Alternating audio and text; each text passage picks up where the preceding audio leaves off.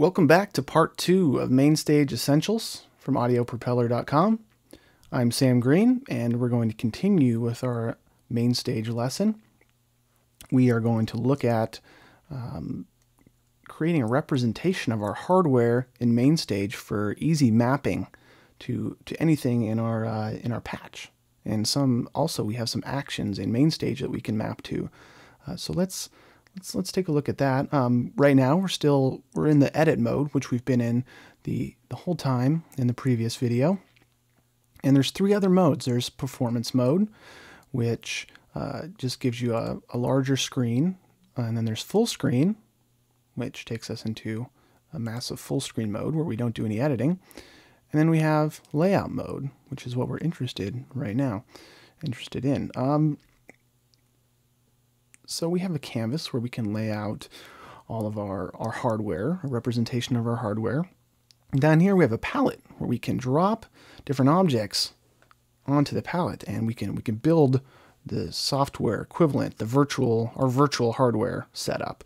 So I'm just going to pull this up a little bit so I can see all the controls. And I have a little keyboard. It's about uh, 25 keys. And um, I'm going to go ahead and map it. And the way we do mapping is we use a palette and we drag out well representations of our gear. So I have a keyboard right here, um, little tiny number, and I've got a couple pitch bend wheels on it, and I've got a uh, some knobs here, and uh, these are my program changes, and we can't map those because uh, they don't send MIDI data on this keyboard, and these are other key keys that uh, control the keyboard itself, and then my my uh, pitch, uh, not pitch shift, but octave shift uh, buttons here.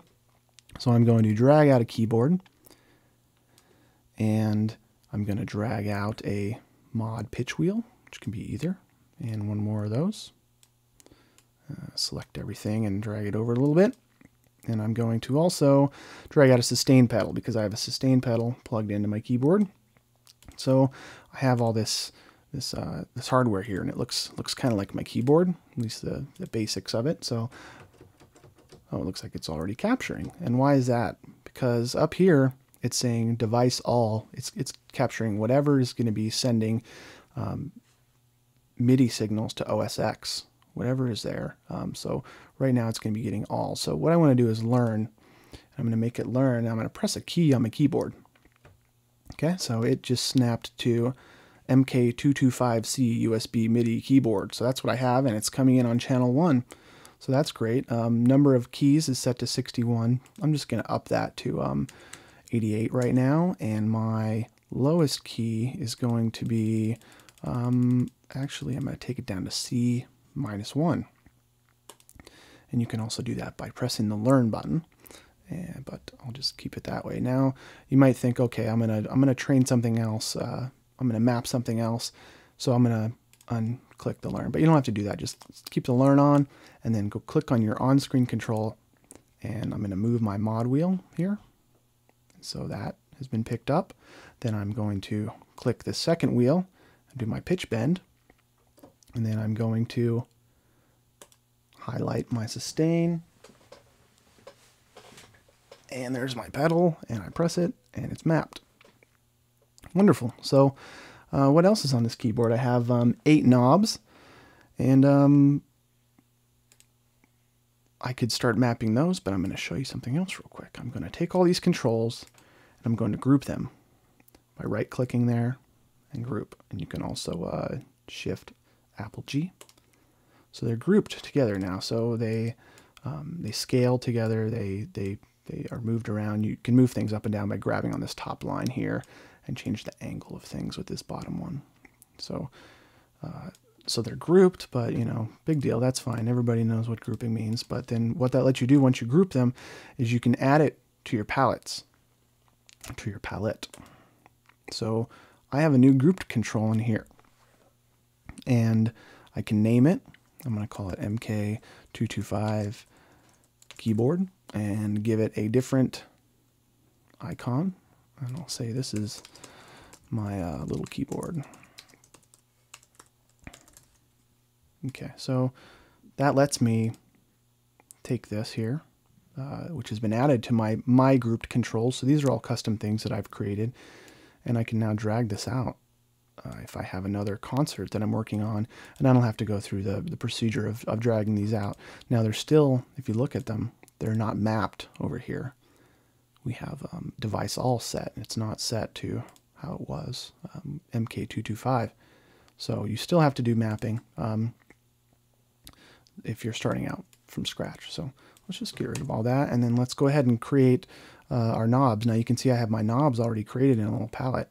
So I could just do that, um, but we'll just go through and uh, and create them. So this is a panel control, and the reason I didn't uh, create all the knobs and then group them and create a uh, a uh, palette item is because it doesn't seem that they they group together and are able to be added to the palette. So yeah, I had to do this separately before. Maybe I'm just doing something wrong, but I could not get them to, to both go. So what I like to do, so I'm not incessantly resizing stuff, um, is to take the first knob, hold down uh, Shift, and resize it until the text, boom, goes away. So I've got that now, and then I hit uh, Command C, copy, then Command V, paste, and I get another one. So I just kind of repeat that, pasting until I have six of them or eight actually. So once you get up to a decent number, you can copy again and paste. And I've got eight knobs. Uh, they've added another feature in MainStage two, which is nice, where you can align things. Uh, so evenly distribute them horizontally. So let's just do that, make it look nice. Um, and then we can also, if we want to make stuff look even nicer, we can we can pull a background out and drag this like that. And this is all just not really necessary, but I'll show you because it looks kind of cool.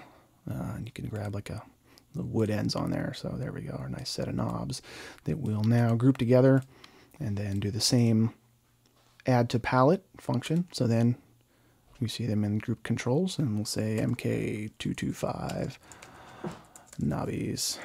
There we go. And they're there. So next we need to map them. So we click each one, hit learn, move the knob, second one, knob, click the next, and I just repeat through all of these. So what this does is lets me, uh, it's going to let me map these knobs to plugins and to effects. So before we hop over to the edit screen and start mapping some controls, let's just take a look at this screen control inspector over on the left where we've been uh, pressing the learn button. We'll turn that off and we can see that uh, this knob we're looking at, it's coming from this device and it's on channel 1 and it's sending absolute values on uh, CC71 and then MIDI through is automatic is uh, not automatic is an interesting thing um, for controls like pitch bend and um, modulation, you may want these to just to just pass through to um, to different instruments, whatever instrument you're playing. Um, and same thing with like maybe a volume pedal that you have mapped. The first pedal that you map in MainStage is going to be mapped to, I believe, expression. The second one's volume. Um, I can double check on that, but it automatically maps things. So you may be moving your volume pedal and you have it mapped to some other parameter, like a cutoff filter on something, and it's gonna it's gonna keep um, moving your volume for all, the, all your different tracks. So what you want to do is just say, do not pass through. I just want to send the value to what's been mapped. Uh, so uh, you can set that if things are not behaving, uh, if things are affecting things that you don't think don't think should be affected. Uh, and then send value to is for um, external hardware integration. Uh, right here it says you can choose the hardware device to send the current value of the on-screen control. Supported devices can display the value using LEDs or you can move a motorized fader. Uh, and this is on supported devices, so um, you have to have certain devices that'll work automatically, and then you can um, make uh, make different um, numbers display or different uh, words display, I believe, on their on their displays, so you can see what what patch you're on, perhaps on your external controller. And you can also change things like the color. Um, so I just changed the color of the little highlights in there and um, what kind of control you have. And then you can um, add labels, which um, might be handy for some people. So there you go. Um, now let's uh, hop over to the edit window and get to mapping. Um, first, let's try mapping something to an action in MainStage. So we're going to map our sustain button, which right there, I'm pressing it with my foot, and we can see it light on and off. So let's click that, and um, we can see down in this the uh, control inspector that it's unmapped on this tab. Um, and let's just see what else is here. Mappings, it's a list of mappings. So unmapped is our mapping that we have. And we have attributes. Um, and let's just take a look at unmapped again. And we can click into this actions folder. And we can take a look at all the different things that MainStage. This is like this is controlling MainStage the program, not your instruments that are that are inside of MainStage. So you can map your next patch and previous patch and next set and uh, things like that. And you can um, turn on and off the metronome. And this is what we're actually going to do is the tap tempo.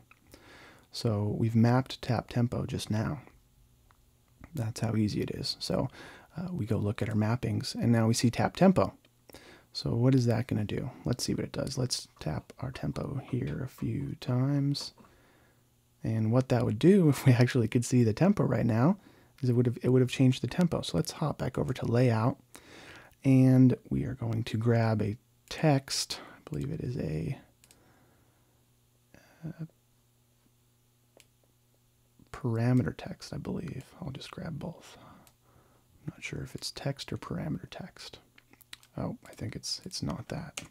So here's a parameter. And we're going to hop back over to edit. And we're going to map this to what the tempo actually is. So let's see if I can find that. Um, where is that?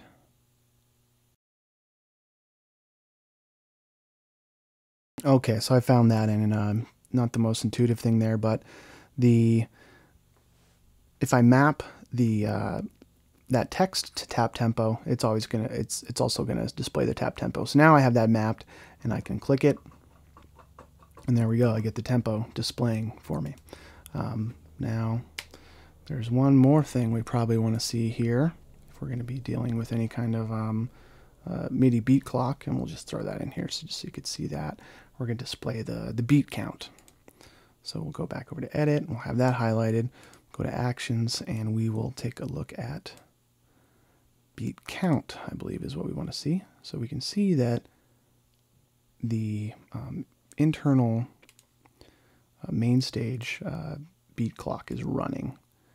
So let's make that a little bigger and go back. So there we go.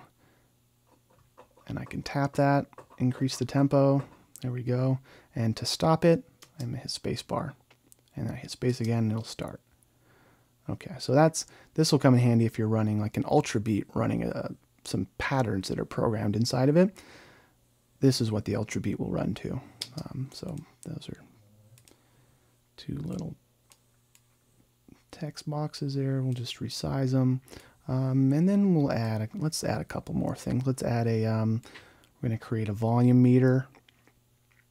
And what else could we add here that would be handy? Um, the patch selector. So we'll get a um, on-screen view of what patches are coming up next and what uh, you know what we uh, you can click on it and, and jump to the patch or you can just watch it when you've mapped next and previous to something else you can uh, this will just display what you're on so we've got the set name and we've got the patch name so if we add another patch real quick we've got untitled patch we can click here and it'll jump back and forth wonderful so uh, another thing I just messed up we can see that when you switch to this untitled patch where did our values go? Oh no. You know what I did? I mapped these things at the patch level. So I'm going to have to go in, clicking on one of these, look at the mappings and I'm going to unmap it. None. Just hit none here. Thanks a lot. Nothing. And I will also uh, just um, block here. Actually, I probably don't want to block. Let's see how I can just, I'll just go same as input. There we go. That's what I wanted. So let's click on the concert level because it matters where you map things at and where you create things. So let's map this to, what did we had? We had beat count and we had tempo, tap tempo. And then let's also map this foot pedal to tap tempo. So we're all set up again and we can change to our different patches and everything works. Wonderful. So I've got one more thing I need to do. I'm going to map this level meter to the um, output of 1, 2. So I want to I want to see uh, how loud my, my output is, what my levels are at while I'm playing.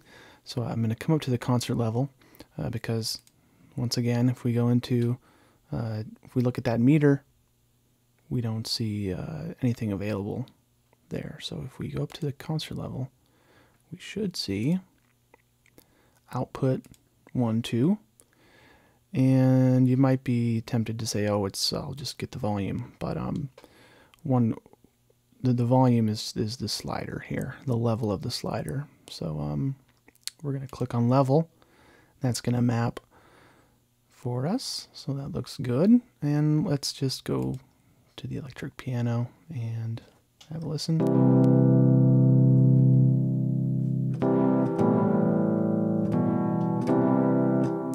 Okay, so great. We have our level being displayed. Uh, there's a bunch of other types of meters. There's some kind of analog looking ones, um, but uh, this will do it for us right here. Um, next, we'll move on to setting up uh, some audio channel strips and look at a couple of the other channel strip types.